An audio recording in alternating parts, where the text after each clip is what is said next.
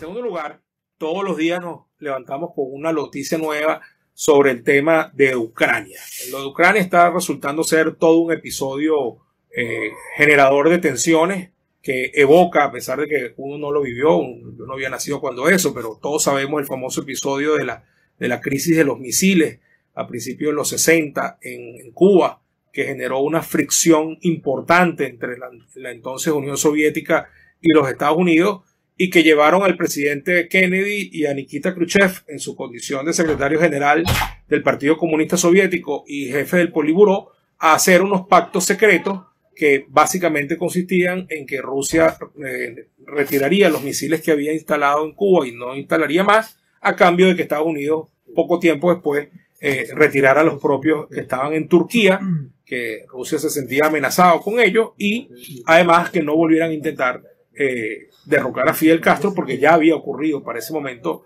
la invasión de Bahía de Cochino. Bueno, esto de Ucrania eh, se parece eh, de alguna manera, ¿no? hay ahí un tema ruso de por medio, los rusos pretenden de alguna manera reconquistar a Ucrania, si no anexársela territorialmente, por lo menos si lograr que el gobierno de Ucrania sea prorruso y no pro-occidental, que es lo que está pasando en este momento. Hasta hace muy poco la solidaridad y ayuda de, de, Occidente, es decir, de los países de Europa Occidental y de Estados Unidos había sido muy timorata. Eh, de hecho, el presidente Biden dio unas declaraciones eh, que fueron realmente lamentables hace un par de semanas, cuando distinguió entre una incursión de pequeña monta y una invasión, y prácticamente dijo que una incursión pequeña lo permitiría, en cambio una invasión sí generaría una reacción, y también dentro de Europa el propio debate que se ha transado allí porque algunos países tienen una actitud muy, muy fuerte, este, otros la tienen muy débil como Alemania que depende casi exclusivamente del gas ruso y vimos también como en esta semana el presidente Macron en un acto de suma responsabilidad política y asumiendo su, su rol no solamente de presidencia de presidente de Francia, sino también de uno de los principales líderes europeos y mundiales, bueno, se plantó cinco o seis horas frente a Putin a, a explicarle una serie de cosas y hacerle ver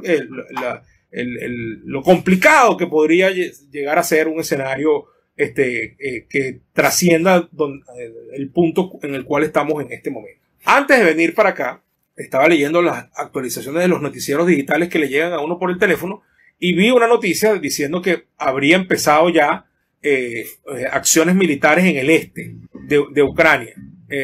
yo no puedo confirmar eso, pero es lo que apareció en uno de los portales que pude revisar. En dado caso, la situación estaba como para que en cualquier momento ocurriera algo así, ya que eh, la Rusia ha movido una enorme cantidad de tropas hacia la frontera con Ucrania y bueno, la OTAN, que al principio había reaccionado de una manera un tanto tibia, pues ahora ha dado un respaldo mucho más, más efectivo en apoyo logístico, etcétera, y el, el, el tono el tono de las declaraciones ha subido, dejándole claro a Rusia que si invade Ucrania, pues habrá una respuesta contundente del lado de la OTAN. Y yo creo, sinceramente, que las cosas están como para preocuparse porque efectivamente la, situación resulta complicada, resulta eh, preocupante y efectivamente mm, hay que, hay que prever que en los próximos días podría darse una tensión y vamos a estar claros en algo, esa tensión que va a ocurrir allí o que ya está ocurriendo allí, pero si eso escala, eso va a afectar